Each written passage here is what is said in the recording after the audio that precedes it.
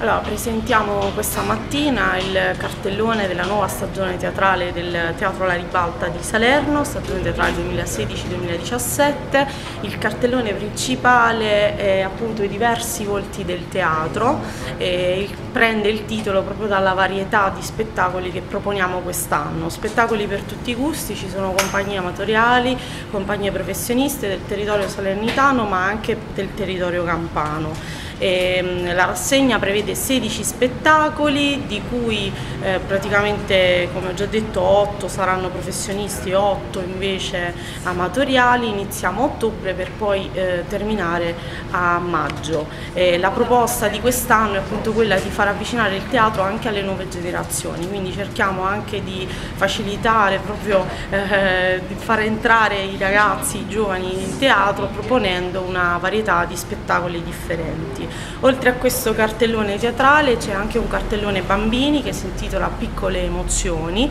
ed è un cartellone proprio dedicato ai più piccoli con spettacoli tratti sia dal repertorio della Disney eh, sia mh, spettacoli tratti da libri di narrazione per bambini. E in scena sarà sia la compagnia La Ribalta che la compagnia stabile del teatro e sia la biblioteca Saremo Alberi che appunto porta avanti questo progetto di messa in scena di spettacoli tratti da libri proprio per eh, promuovere la lettura anche per i bambini. Anche quest'anno inoltre ci sarà la scuola teatrale del Teatro La Ribalta di Salerno ed è una scuola finalizzata proprio all'ingresso di nuovi attori in compagnia ma anche alla professione teatrale eh, con un programma accademico. Partner di questa scuola sarà il Centro Studi delle Arti che è l'Accademia di Musical con la direzione artistica di eh, Galatone eh, e quindi noi faremo appunto questa, questa, convenzione con loro per cui chi vorrà iscriversi all'Accademia di Musical di, di, Napoli potrà seguire i corsi